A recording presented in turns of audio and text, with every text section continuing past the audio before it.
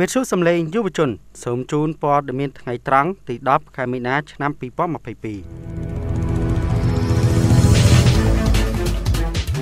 សម្ដេចក្រឡាមសខេងដាក់ផែនការឲ្យខិតខំដោះស្រាយបញ្ហាវិវាទក្រុមហ៊ុន Nagaworld ឲ្យបានឆាប់តំណាងអចិន្ត្រៃយ៍កម្ពុជាសម្ដែងក្តីខកចិត្តចំពោះឧត្តមស្នងការទទួលយករបាយការណ៍ដែលពិនិត្យមើលតែមួយជ្រុង នៅបង្កការយល់ខុសចំពោះស្ថានភាពនៅកម្ពុជា រាជរដ្ឋាភិបាលចំណាយលើពលរដ្ឋក្រីក្រក្នុងមួយខែជាង40លានដុល្លារនៃវិបត្តិជំងឺ Covid-19 វៀតណាមត្រៀមបើកជើងហោះហើរអន្តរជាតិឡើងវិញនៅខែនេះ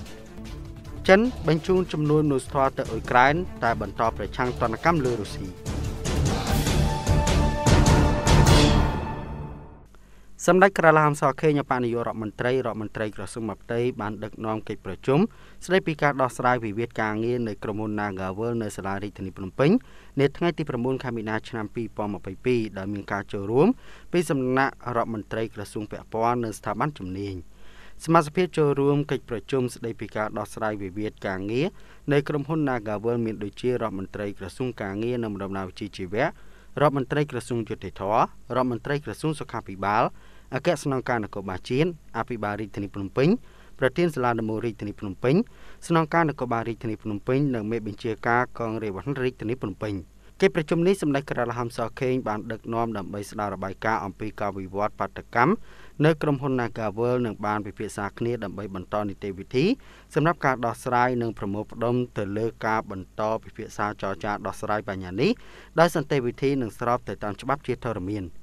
នៅក្នុងកិច្ចប្រជុំនេះសម្ដេចក្រឡាមសខេងបានដាក់ផែនការឲ្យខិតខំដោះស្រាយបញ្ហាវិវាទឲ្យបានឆាប់ចប់កុំឲ្យអូសបន្លាយនិងឲ្យកម្មករនយោជិតនិងក្រុមហ៊ុន Nagavel ឲ្យជាសាសគ្នាយោងតាមប្រពន្ធមន្ត្រីចូលរួមបានឲ្យដឹងថាក្នុងចំណោមអតីតបុគ្គលិក Nagavel ចំនួន360នាក់មានចំនួន136នាក់បានទទួលការទូទាត់ពីក្រុមហ៊ុន អគ្គរដ្ឋទូតនឹងជាដំណើរចិនត្រៃកម្ពុជាប្រចាំអង្គការសហប្រជាជាតិនៅហ្សឺណែវអាដាមអានសុខឿនបានបញ្ជាក់ថាគណៈប្រតិភូកម្ពុជាយល់ស្របទៅនឹងទស្សនៈរបស់អាដាមប្រធានពាក់ព័ន្ធនឹងការធ្វើនយោបាយយុបនីយកម្មនៅក្នុងក្រមប្រឹក្សាសិទ្ធិមនុស្សនិងភាពលំអៀងដោយសារការកំណត់ឋានានុក្រមក្នុងចំណោមប្រភេទសិទ្ធិមនុស្ស ប៉ុន្តែបានសម្ដែងក្តីខកចិត្តយ៉ាងខ្លាំងចំពោះប្រកាសដែលឧត្តមស្នងការទទួលយករបាយការណ៍ដែលពិនិត្យមើលតែមួយជ្រុងនិងបង្កការយល់ខុសពាក់ព័ន្ធស្ថានភាពនៅកម្ពុជាប្រតិកម្មនេះបានធ្វើឡើងក្នុងបទអន្តរាគមនៅក្នុងសម័យប្រជុំលើកទី49នៃក្រមប្រឹក្សាសិទ្ធិមនុស្ស កិច្ចពិភាក្សាទូទៅលើរបៀបវរៈទី2ស្ដីពីរបាយការណ៍សកលរបស់លោកជំទាវឧត្តមស្នងការអង្គការសហប្រជាជាតិទទួលបន្ទុកសិទ្ធិមនុស្សកាលពីថ្ងៃទី8ខែមីនាឆ្នាំ2022យោងតាមប្រភពក្រសួងការបរទេសបានបង្ហាញថាអគ្គរដ្ឋទូតនិងជាដំណើរចិនត្រៃកម្ពុជាបានបន្តថាការថ្លែងថាកតកម្មរបស់អតីតបុគ្គលិកកាស៊ីណូធ្វើឡើងដោយស្របច្បាប់គឺជាការយល់ខុសទាំងស្រុង តុលាការបានប្រកាសតាំងពីខែធ្នូឆ្នាំ2021មកម្លេះថាកតកម្មនេះគឺខុសច្បាប់ប្រជាប្រដ្ឋក្នុងមូលដ្ឋានបានត្អូញត្អែពីការរំខានបង្កដោយការតវ៉ាខុសច្បាប់ដែលអូសបន្លាយពេកជាឆ្នាំខែអាញាធរកម្ពុជាបានរក្សាភាពអត់ធ្មត់ជាទីបំផុតហើយថែមទាំងបានលុតជង្គង់អង្វរសូមឲ្យបាតកោគ្រប់តាមវិធានបង្ការនិងទប់ស្កាត់ការរាតត្បាតជំងឺ Covid-19 យ៉ាងហោចណាស់បាតកោចំនួន130នាក់បានធ្វើតេស្តរកឃើញវិជ្ជមាន Covid-19 លោកជំទាវឧត្តមស្នងការតើបាតកម្មខុសច្បាប់ដែលប៉ះពាល់ដល់សន្តិភាពសាធារណៈនិងប៉ះពាល់លើវិធានសុខភាពសាធារណៈដូចនេះគឺជាការអនុវត្តសេរីភាពប្រមូលផ្ដុំដោយសន្តិវិធីដែលស្របតាមរដ្ឋធម្មនុញ្ញដែរឬទេ នៅថ្ងៃទី9ខែមីនាឆ្នាំ2022កិច្ចប្រជុំអន្តរក្រសួងដឹកនាំដោយឧបនាយករដ្ឋមន្ត្រីនិងរដ្ឋមន្ត្រីក្រសួងមហាផ្ទៃត្រូវបានរៀបចំឡើងដើម្បីដោះស្រាយវិវាទការងារដែលអូសបន្លាយពេលជាច្រើនខែកន្លងមកនេះនឹងត្រូវបានគេធ្វើនយោបាយយុបនីយកម្មអាដាមអគ្គរដ្ឋទូតនិងជាដំណើរចិនត្រៃកម្ពុជាបានបញ្ជាក់ថា អវត្តមាននៃគណៈបកនយោបាយមួយក្នុងការបោះឆ្នោតនាពេលខាងមុខដោយសារការបំពានច្បាប់មិនបានធ្វើឲ្យកម្ពុជាចាក់ឆ្ងាយពីប្រហុបកឡើយមិនថាលទ្ធផលបែបណាឡើយការពិតមួយដែលមិនអាចប្រកែកបានគឺថាអ្នកបោះឆ្នោតនៅតែអាចជ្រើសរើសគណៈបកនយោបាយមួយក្នុងចំណោមគណៈបកនយោបាយចំនួន17ដែលបានចុះបញ្ជីរួចរាល់ចូលរួមការប្រគល់ប្រជែងការបោះឆ្នោតគគ ណៈបកទាំងនោះមិនថាតូចឬធំមានសិទ្ធិនយោបាយនិងសេចក្តីថ្លៃថ្នូរស្មើស្មើគ្នានិងត្រូវទទួលបានការគោរពដូចដូចគ្នាឯកអគ្គរដ្ឋទូតនិងជាដំណើរចិនត្រៃកម្ពុជាបានកត់សម្គាល់ឃើញថា ការិយាល័យឧត្តមស្នងការអង្គការសហប្រជាជាតិទទួលបន្ទុកសិទ្ធិមនុស្ស បានសំងំស្ងៀមឈឹងអស់រយៈពេលជាច្រើនឆ្នាំចំពោះការប្រើភាសាប្រជាភិថុតប្រកបដោយគ្រោះថ្នាក់របស់ក្រមប្រឆាំងមួយចំនួន ដែលវិធីសាស្ត្ររបស់ក្រមនោះផ្សព្វផ្សាយព័ត៌មានមិនពិតជាប្រមាថនិងបង្កាច់បង្ខូចគ្រប់បែបយ៉ាងញុះញង់ឲ្យមានការស្អប់ខ្ពើមជាតិសាសន៍និងការរើសអើងពូជសាសន៍និងអំពើនីវឲ្យមានការបះបោរប្រឆាំងរដ្ឋាភិបាលជាធ្នូនឹងប្រាក់លោកជំទាវដងស្នងការតើសកម្មភាពទាំងនេះគឺជាអ្វីដែលលោកជំទាវចាត់ទុកថា ជាការប្រព្រឹត្តស្របច្បាប់ក្រោមច្បាប់អន្តរជាតិឬឧត្តមសេនីយ៍ហ៊ុនម៉ាណែតតំណាងដល់ខ្ពង់ខ្ពស់សម្ដេចនាយកហ៊ុនសែននាយករដ្ឋមន្ត្រីកម្ពុជាបានថ្លែងថាក្នុងមួយខែមួយខែរាជរដ្ឋាភិបាលបានចំណាយថវិកាជាង40លានដុល្លារ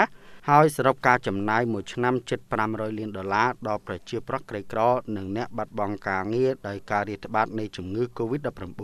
ឧត្តមសេនីយ៍ហ៊ុនម៉ាណែតថ្លែងដូចនេះ នៅចំពោះមុខវត្តមានអាយដាមលោកជំទាវជាសមាជិកប្រសិទ្ធិរដ្ឋសភាប្រតិភូរដ្ឋាភិបាលនិងអភិបាលខេត្តជាច្រើនរូបទៀតក្នុងឱកាសដែលអាយដាមបានអញ្ជើញចូលរួមជាអធិបតីក្នុងពិធីសម្ពោធដោយប្រើប្រាស់ជាផ្លូវការកត់បណ្ណាល័យនិងសមិទ្ធផលនានាក្នុងវត្តកងត្រង់នឹងស្ថិតក្នុងភូមិកងតានឹងស្រុកកងមាសខេត្តកំពង់ចាមនៅថ្ងៃទី9មីនា អាដាមហ៊ុនម៉ាណែតថ្លែងថាសោកនាដកម្មនៃជំងឺ Covid-19 កន្លងទៅនេះមនុស្សជាច្រើនអ្នកបានបាត់បង់សមាជិកគ្រួសារដោយមិនអាចទៅធ្វើបុណ្យបាន ព្រោះនឹងអាចឲ្យយើងស្លាប់បន្តទៀតប៉ុន្តែសំខាន់មកដល់ម៉ោងនេះយើងបានកាត់ផ្តាច់ការស្លាប់ភាគច្រើនបាននិងគឺមិនមែនជាការចៃដន្យទេកម្ពុជាគ្រប់គ្រងនៅបញ្ញាសោកនីតកម្មនេះបានហើយអាដាមបានបន្ថែមថាក្នុងនោះទូទាំងពិភពលោក មានប្រជាប្រដ្ឋស្លាប់ដោយជំងឺ Covid-19 មានជាង6លាននាក់ហើយកម្ពុជាយើងមានអ្នកស្លាប់ដោយសារជំងឺប្រមាណជាង3000នាក់ដោយយើងមិនអាចមានសិលទៅទប់បាំងជំងឺ Covid-19 នេះបានទេ ក្រៅពីខិតខំជួយប្រជាពលរដ្ឋរយៈពេល2ឆ្នាំកន្លងមកនេះ។ អាដាមបានបន្តថាពិសេសខិតខំកែលម្អនៅសកម្មភាពអសកម្មរបស់យើង ដើម្បីពង្រឹងការជួយរបស់ប្រជាប្រដ្ឋគឺអាជ្ញាធរត្រូវប្រឹងប្រែងជួយប្រជាប្រដ្ឋឲ្យកាន់តែល្អបង្កើនលទ្ធផលវិជ្ជមានកសាងហេដ្ឋារចនាសម្ព័ន្ធផ្លូវសាលារៀនបង្កើតការងារបង្កើតមណ្ឌលសុខាភិបាលមណ្ឌលសុខភាពដោះស្រាយការលំបាកជូនប្រជាប្រដ្ឋ ជាក់ស្ដែងរាជរដ្ឋាភិបាលបានចំណាយថវិកាក្នុងមួយខែជាង40លានដុល្លារនិងសរុបរយៈពេល1ឆ្នាំប្រមាណជិត500លានដុល្លារលើបរិវត្តក្រីក្រនិងអ្នកបាត់បង់ការងារដោយមិនកាត់ប្រាក់បៀវត្សរបស់មន្ត្រីរាជការឡើយ ការបើកជើងហោះហើរអន្តរជាតិនិងការបើកព្រំដែនឡើងវិញនៅខែមីនានឹងមិនត្រឹមតែផ្ដល់ផលដល់វិស័យសន្តាគារនិងបដិសន្តារកិច្ចរបស់វៀតណាមប៉ុណ្ណោះទេប៉ុន្តែថែមទាំងជួយជំរុញឲ្យតម្រូវការខុនដូអាផាតមិនហក់ឡើងផងដែរសារព័ត៌មានវៀតណាម News បានចុះផ្សាយនៅថ្ងៃពុធទី9មីនាថា ទេសចរក្នុងស្រុកទទួលបានកំណើននៅដើមឆ្នាំ2022ដោយសារមានមនុស្សដើរលេងច្រើនក្នុងឱកាសបុណ្យចូលឆ្នាំថ្មីប្រពៃណីចិនវៀតណាមយោងតាមរដ្ឋបាលជាតិទេសចរវៀតណាមបានដឹងថាអំឡុងបុណ្យចូលឆ្នាំថ្មីដែលមានរយៈពេល9ថ្ងៃមានភ្ញៀវទេសចរក្នុងស្រុកដើរលេងជាង6លាន1សែននាក់ដែលផ្ដល់ប្រាក់ចំណូលដល់វិស័យទេសចរបានជាង1100លានដុល្លារ ចំនួននេះឆ្លុះបញ្ចាំងតម្រូវការពិតប្រាកដនិងទស្សនវិស័យប្រកបដោយសុតិធិនិយមសម្រាប់ការរស់រានឡើងវិញនៃទេសចរក្នុងស្រុងជាផ្នែកមួយនៃផែនការបើកព្រំដែនឡើងវិញដើម្បីទទួលស្វាគមន៍ភ្ញៀវអន្តរជាតិអាញាធិបតេយ្យវៀតណាមបានប្រកាសថាជើងហោះហើរអន្តរជាតិនឹងចាប់ផ្ដើមឡើងវិញចាប់ពីថ្ងៃទី15មិនិនាឆ្នាំ2022តទៅ។ ការបើកឡើងវិញនេះនឹងមិនត្រឹមតែផ្ដល់ផលប្រយោជន៍ដល់ផ្នែកទេសចរនិងបដិសន្តារកិច្ចរបស់ប្រទេសប៉ុណ្ណោះទេប៉ុន្តែវិស័យ condo apartment ក៏ទទួលបានផលដូចគ្នាដែរជនបរទេសដែលជាអ្នកជំនួញគឺជាអ្នកជួល condo apartment ច្រើនជាងគេនៅក្រុងហាណូយដោយក្នុងនោះជនជាតិជប៉ុននិងកូរ៉េគឺជាអ្នកជួល condo apartment កម្រិត A ច្រើនជាងគេដែលគ្របដណ្ដប់84%នៅក្នុងឆមាសទី2ចុងឆ្នាំ2021 យោងតាមក្រុមហ៊ុនអចលនទ្រព្យដ៏ធំបំផុតរបស់វៀតណាម Savil Vietnam បានឲ្យដឹងថាបច្ចុប្បន្ននេះទស្សនវិស័យសម្រាប់សន្តាគារនិង condo apartment គឺមានភាពល្អប្រសើរដោយសារព្រំដែនក្រុងនឹងបើកឡើងវិញនៅពាក់កណ្ដាលខែមីនានេះទោះជាយ៉ាងណាវិស័យទាំងពីរនេះនឹងបន្តពឹងផ្អែកខ្លាំងថាតើអាជ្ញាធរគ្រប់គ្រងការរីករាលដាលវីរុស COVID-19 បានល្អកម្រិតណា និងមានវិធីសាស្ត្របែបណាខ្លះក្នុងការគ្រប់គ្រងការរីករាលដាលវីរុសនេះ ក្រុមហ៊ុនដដែលបាននិយាយថានៅចន្លោះឆ្នាំ2022ដល់ឆ្នាំ2023ការផ្គត់ផ្គង់សន្តាគារក៏ត្រូវបានរំពឹងថានឹងកើនឡើងផងដែរជាមួយនឹងការផ្គត់ផ្គង់បន្ទប់ថ្មីៗចំនួន2600បន្ទប់ដែលនេះបង្ហាញពីការមានទំនុកចិត្តឡើងវិញរបស់បណ្ដាវិនិយោគិនលើវិស័យបដិសណ្ឋារកិច្ច ចិននិយាយថាខ្លួនកំពុងបញ្ជូនចំនួនមនុស្សធររួមមានស្បៀងអាហារនិងរបស់របរចាំបាច់មានតម្លៃសរុប5លានយួនឬប្រមាណ791,000ដុល្លារអាមេរិកទៅកាន់ប្រទេសអ៊ុយក្រែននៅពេលខ្លួនបន្តប្រឆាំងទណ្ឌកម្មលើរដ្ឋាភិបាលក្រុងមូស្គូចំពោះប្រតិបត្តិការយោធារុស្ស៊ីចូលក្នុងប្រទេសក្បែរខាងខ្លួនអ្នកនាំពាក្យក្រសួងការបរទេសចិនលោកចៅលីជៀនបានប្រាប់អ្នកយកព័ត៌មានថា ជំនួយក្រុមដំបូងត្រូវបានបញ្ជូនទៅកាន់កាកបាទក្រហមអ៊ុយក្រែនកាលពីថ្ងៃពុធទី9មីនានិងជំនួយបន្ថែមទៀតនឹងត្រូវបញ្ជូនទៅតាមក្រោយក្នុងពេលឆាប់ៗរដ្ឋាភិបាលក្រុងប៉េកាំងត្រូវបានគេយល់ជាទូទៅថាគាំទ្ររុស្ស៊ីក្នុងចំនួននេះនិងលោកចៅបានបញ្ជាក់អះអាងឡើងវិញពីការប្រឆាំងជំទាស់របស់ចិនចំពោះការដាក់ទណ្ឌកម្មសេដ្ឋកិច្ចទូទៅលើរុស្ស៊ី អ្នកនាំពាក្យរុកនេះបានប្រាប់នាយកព័ត៌មានទៀតថាការលើកប្រនងទណ្ឌកម្មនៅគ្រប់តែពេលវានឹងមិននាំមកសន្តិភាពនិងសន្តិសុខទេ តែបង្កការលំបាកធ្ងន់ធ្ងរខាងសេដ្ឋកិច្ចនិងការរស់នៅរបស់ប្រទេសពាក់ព័ន្ធលោកថាចិននិងរុស្ស៊ីនឹងបន្តអនុវត្តកិច្ចសប្រតិបត្តិការពាណិជ្ជកម្មធម្មតា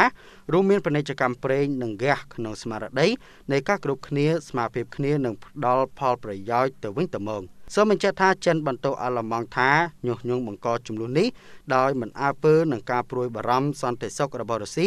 ហើយគិតតែបន្ថែមប្រេងលើអណ្ដាតភ្លើងក្រោយផ្ទុះសង្គ្រាម ដោយស្វះស្វែងរកវិធីបន្ថែមសពាវុធដល់ភាគីអ៊ុយក្រែនព័ត៌មានថ្ងៃត្រង់ពីវិទ្យុសំឡេងយុវជន FM 97 MHz ដែលជម្រាបជូននៅពេលនេះចប់តែប៉ុណ្ណេះ